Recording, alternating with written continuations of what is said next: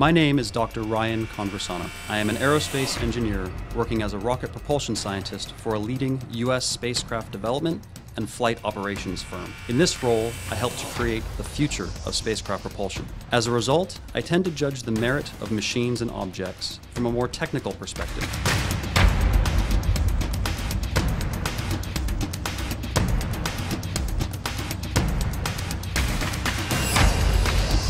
Today, I am here at the Thought Leadership Center to look at the McLaren 720S and explore the science behind this amazing car, with a nod towards Newton's second law of motion, which states that force equals mass times acceleration. If we rearrange this equation, we find that acceleration equals force divided by mass. This equation of acceleration will be the focus of our analysis.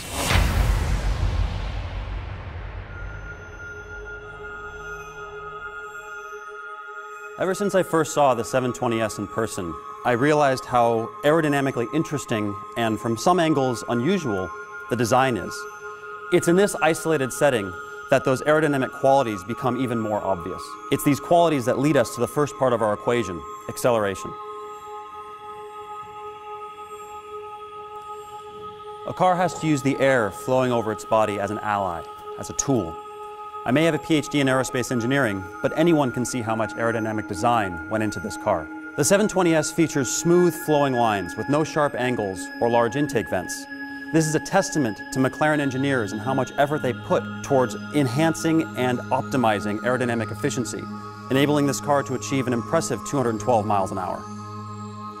Air coming to the nose of the car is split both above and below the vehicle. Air flowing downwards encounters a high efficiency splitter, which provides downforce to enhance cornering and grip.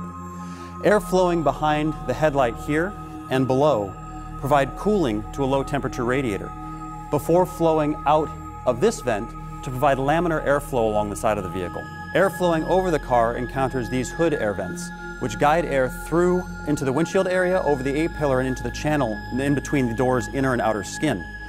This houses the high temperature radiators, which require a significant amount of cooling when the car is being driven hard. In between the inner and outer skin, there is a small buttress that's actually in the shape of an airfoil to accelerate air down and into the channel. The rear of the 720S sits lower than any previous Super Series model, the chassis aggressively tapering from the glass teardrop of the cabin to meet this full-width rear wing. It's very similar in profile to that of an airfoil. With the wing stowed, it's cleanly integrated with the body panel to offer minimized drag.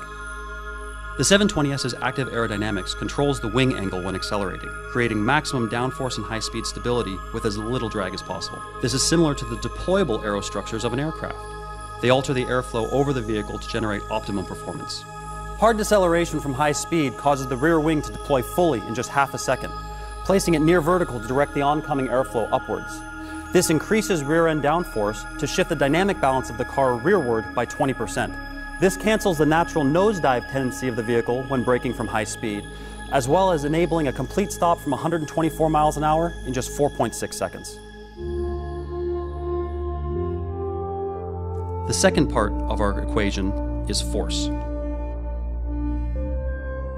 In my current role, I work on bleeding edge spacecraft electric propulsion technologies, also known as EP. These devices use electrical power to ionize and accelerate gas particles creating a plasma jet that pushes you through space.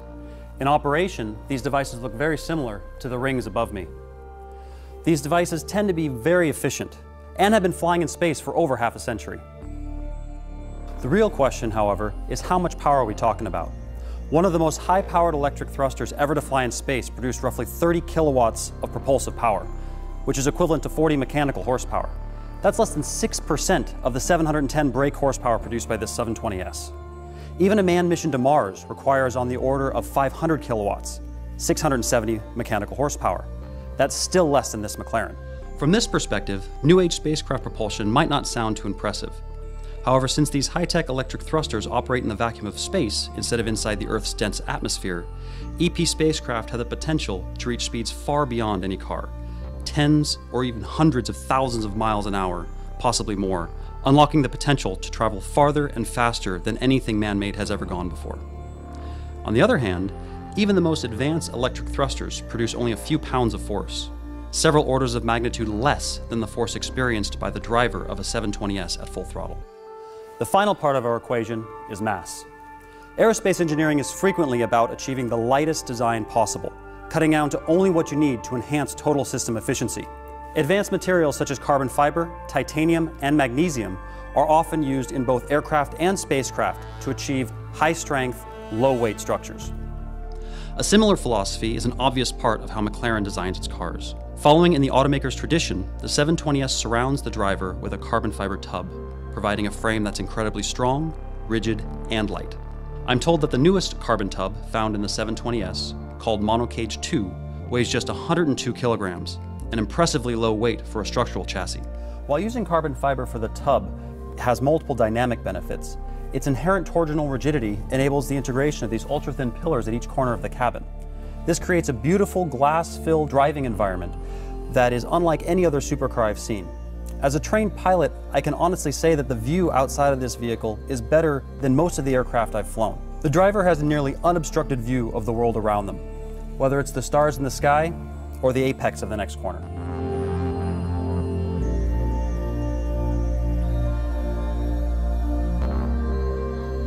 The McLaren 720S is at the pinnacle of supercar science and engineering. While both beautiful and unique, the fundamental principle of form follows function rings true throughout its design. McLaren has pushed the limits of consumer road car performance. Aerodynamics that enable savage acceleration, a power plant capable of mind-blowing forward thrust, and a super light total mass. These three components of our equation of acceleration coalesce to make the 720S a very impressive vehicle indeed a true marvel of modern automotive engineering.